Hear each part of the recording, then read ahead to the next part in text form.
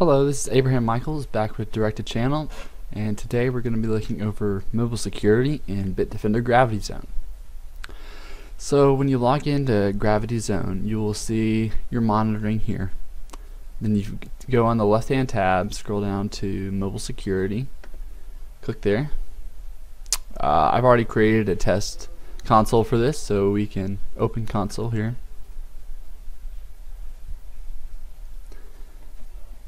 Then once that loads, you may need to log in again. And here we go. Here's our dashboard for mobile security. So as you can see, this is over the last week here. And I just created this as a test console, so don't, I don't have any mobile devices currently on this. So once you do, you will have some numbers here, the numbers of devices analyzed and threats detected, uh, the networks, the networks you've analyzed and detected, and apps. So here on the main dashboard you can see threat log, map, threat history once there are threats, most attacked networks, most attacked users and devices, and then a couple metrics down here at the bottom. Okay, after the dashboard you click this little arrow up in the upper right hand corner, scroll down, and we can look at some insights. So here's a few more uh, graphs to look at for your devices on your mobile security, you've got key features down here, MDM integration, SIEM integration, um, advanced app analysis, phishing detection, app policy, and security score trend. So it'll take your security score, uh, it goes from 0 to 10, how secure your devices are. And this will be a, a graph that will chart out how how good the security score has been over the past.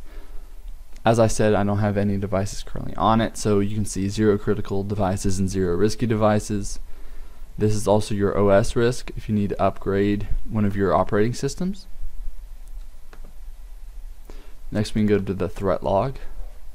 As I said, we don't have any threats, but once they do show up, you can list them here and it'll have severity type, the threat name, the group users, device ID that it's on, the app name, action triggered timestamp state. And then apps and extensions are also similar to this as as they will have these uh, classifications of these apps as they pop up. So the name package name version all that for apps. Same for extensions. Classification extension name extension ID version device count privacy risk security risk when it was updated and the status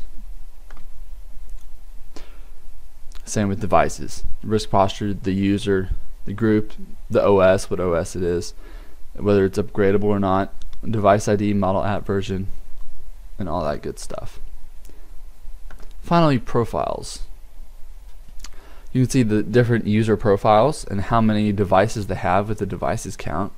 And then you can see which ones are high risk, suspicious, or untrusted. Next in policy, we can go through the threat policy once this loads.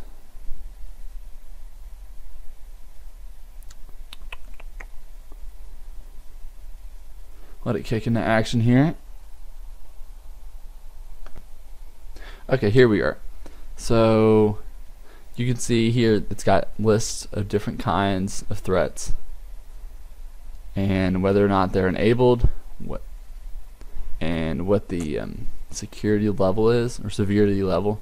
So we have elevated risks, low risks, and critical risks.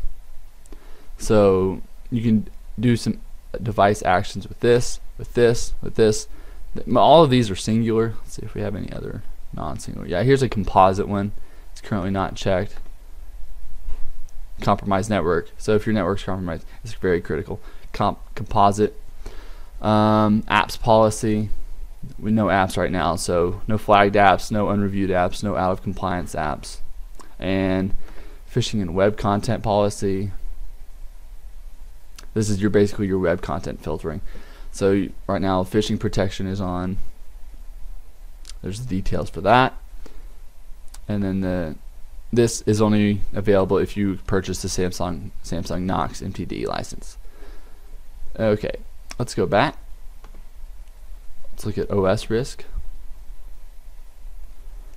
So this will list out your OS risk. These would be the number of devices with a vulnerable operating system. Um, these are the ones that can be upgraded, and these are non-upgradable devices. And finally, the last tab is the Manage tab. Okay, so the Manage tab has a lot of general information, such as your company information and user information, and also has some uh, checkboxes where you can enable different features, like the Danger Zone feature, the App Risk Lookup, Android battery optimization, and the privacy summary. You can also insert your license. Let me scroll down here. You can insert your license key for the Samsung Knox KPE license. You can also configure device inactivity, such as allowed inactivity time, the warning interval, and the max number of warnings. Privacy, basically this sets up the level of information that is collected. So location, the device, this is max. So switching off different templates, it'll just, for low forensic data, it won't collect any location. If you set it to medium, it'll collect your country and none of the application or browser extensions. High checks these boxes and gets down to the city, and max gets down to the very street where you're located. Next up we have integrations. These are, I have not integrated either of these as I have no devices. So you can do that here when you have those. VPN settings, default DNS, ba pretty basic 888 and 8844. Um, network sinkhole settings, you can do all, do all that. And the audit logs, right there, whitelisting, and access control. Basically, this is all the different things you can do in the Manage tab. And that really, we can go back to the dashboard here, and that's basically everything you can do in the Bitdefender GravityZone mobile security. So thank you for watching. If you enjoyed, please drop a like. And I'll see you in the next video. Thank you.